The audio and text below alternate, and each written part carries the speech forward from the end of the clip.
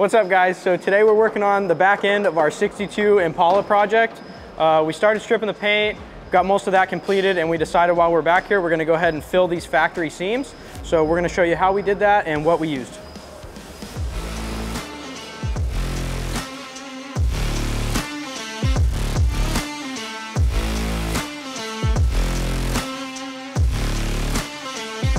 Now when the factory assembles these cars, they take the flanges, they spot weld them together, and then you get left with these kind of ugly factory seams.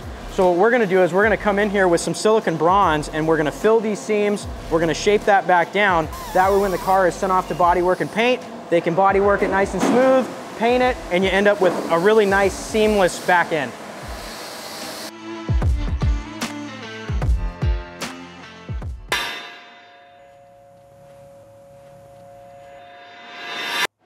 They don't look very nice at all. And we're gonna make them look nice. I'm gonna make it look nice if it kills me. And how are you gonna do that?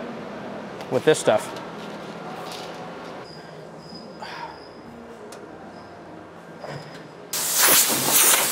Yeah, I definitely wasn't blessed in the height department.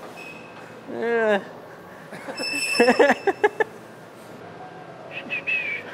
Hold on, just, just hang loose, Taylor.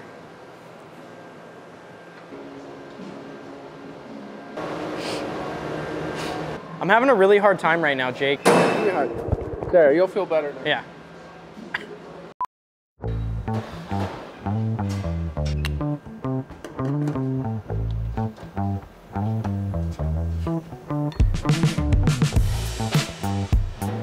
So on a factory seam like this that we're planning on filling, it's considered a stress point. So if you fill it with your standard body filler or your standard welding rod, which is like ER70S-2, once that's all filled up, over time, after your paint work's done, there's a good chance down the road that that's gonna end up cracking. So we like to use silicon bronze filler. It's great, it's nice and soft, so once you fill up your seam, it's really easy to work and smooth back out. Plus, over time, you're not gonna run that risk of it cracking.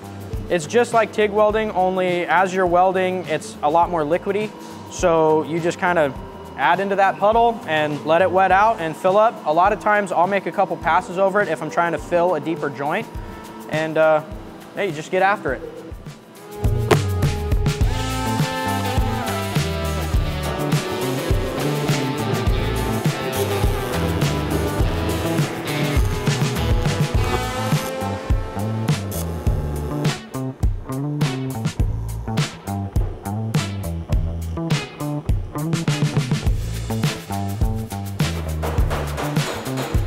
So, and then you can see too, down in here, these fact when they put these factory seams together, there's a lot of seam sealer and things in there. So we go ahead beforehand and we try to burn most of that out, but sometimes there's a little bit left over. I'm just kind of burning through it and we'll grind everything back out.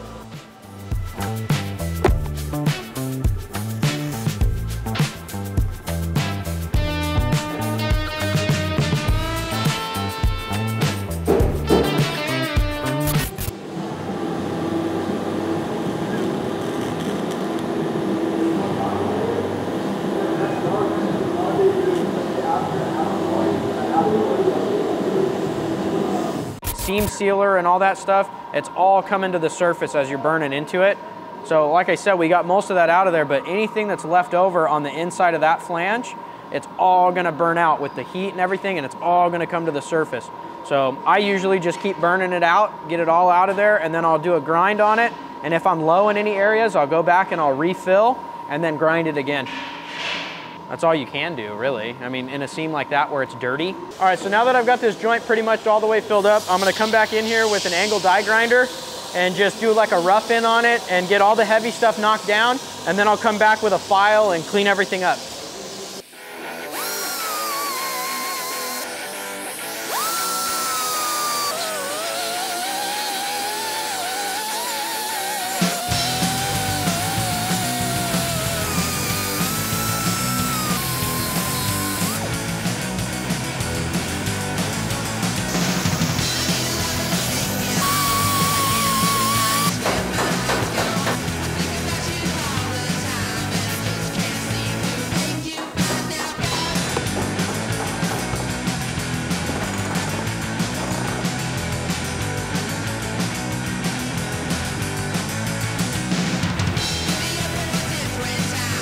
And then I'll go ahead and shave those back down and we should be pretty good to go. So yesterday I came back in here and I added a little bit more weld into these seams just to make them nice and full. Came back, knocked them down with an angle die grinder, did a little bit of hand file in these radiused edges, and then came back and cleaned them up with the DA.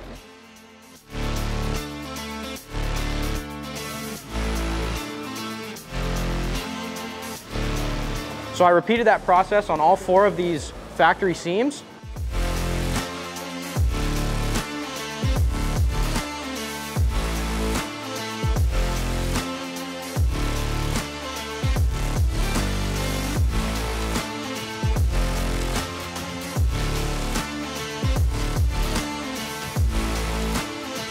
Got that all taken care of and now we're ready for body work.